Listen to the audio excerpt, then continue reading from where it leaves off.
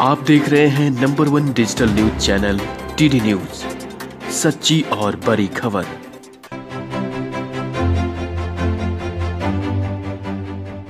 Sponsor by G interior Patna नमस्कार, मैं हूँ अक्षता सहाय और आप देख रहे हैं डीडी न्यूज़ पर टुडे स्पेशल और आज भारतीय इतिहास के एक बहुत खास व्यक्ति की पुण्यतिथि है। और वो कोई नहीं, वो है हमारे देश के सबसे पहले प्रधानमंत्री श्री पंडित जवाहरलाल नेहरू। चलिए जानते हैं उनके बारे में कुछ खास बातें। पंडित जवाहरलाल नेहरू का जन्म 14 नवंबर अठारह सौ नवासी में इलाहाबाद के एक धन्यधय परिवार में हुआ था। उनके पिता का नाम मोतीलाल नेहरू और उनकी माता का नाम स्वरूप रानी था। पिता पेशे से वकील थे, उनकी तीन पुत्रियाँ थी और जवाहरलाल नेहरू उनके एक लौते पुत्र थे। स्वतंत्रता भारत के पहले प्रधानमंत्री थे। बच्चों के प्यारे चाचा नेहरू के रूप में पंडित जवाहरलाल नेहरू देश को प्रगति के पथ पर ले जाने वाले खास पथ प्रदर्शक थे।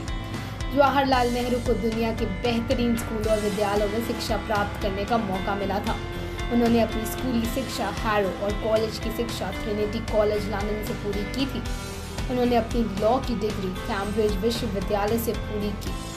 हार और कैम्ब्रिज में पढ़ाई कर कि वो 1912 में नेहरू जी ने बार की उपाधि ग्रहण की और वे बार एट लॉ में बुलाए गए पंडित नेहरू शुरू से ही गांधी से प्रभावित रहे और 1912 में कांग्रेस से जुड़े। 1920 में प्रतापगढ़ के पहले किसान मोर्चे को संगठित करने का श्रेय उन्हें ही जाता है। 1928 में लखनऊ में साइमन कमीशन के विरोध में नेहरू घायल हुए और 1930 में नमक आंदोलन में वो गिरफ़्तार भी हुए। उन्होंने छह माह जेल काटी। 1935 में अल्मोड़ जेल में आत्मकथा लिखी। उन्होंने कुल नौ बार जेल यात्राएँ की। उन्होंने विश्व भ्रमण किया और वे अंतर्राष्ट्रीय नायक के रूप में पहचाने गए। उन्होंने छह बार कांग्रेस अध्यक्ष के पद पर सुशोभित किया। नेहरू के कार्यकाल में लोकतंत्र लोकतांत्रिक परंपराओं को मज़बूत करना राष्ट्र और संविधान के धर्मनिरपेक्ष चरित्र की स्थायी भाव प्रदान करना और योजनाओं के माध्यम से देश की अर्थव्यवस्थाओं को सुचारू करना उनके मुख्य उद्देश्य थे। नेहरू पाकिस्तान और चीन के साथ भारत के संबंधों को सुधार नहीं कर पाए।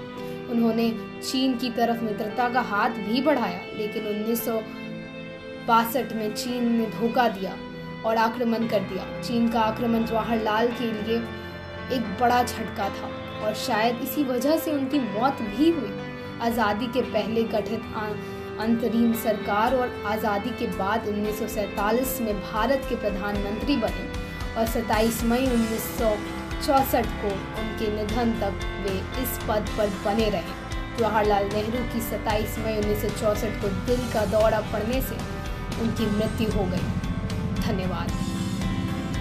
नमस्कार, मैं हूँ परितोष कुमार। अगर आपको हमारा यह वीडियो पसंद आया है तो इसे लाइक और शेयर ज़रूर करें। और हाँ हमें सब्सक्राइब करना और फॉलो करना ना भूलें, ताकि आप देश दुनिया की कोई खबर मिस न करें। चाहे कोई ब्रेकिंग न्यूज़ हो या कोरोना वायरस से जुड़ी कोई भी अपडेट पॉलिटिक्स हो या आपके हक से जुड़ी कोई खबर इलेक्शन की कोई न्यूज़ हो कंट्रोवर्सी की कोई न्यूज़ हो, या फिर कोई वायरल वीडियो सब कुछ मिलेगा टीडी न्यूज़ पर। तो जुड़े रहिए हमारे साथ और देखते रहिए डीडी न्यूज़ सच्ची और बड़ी खबर।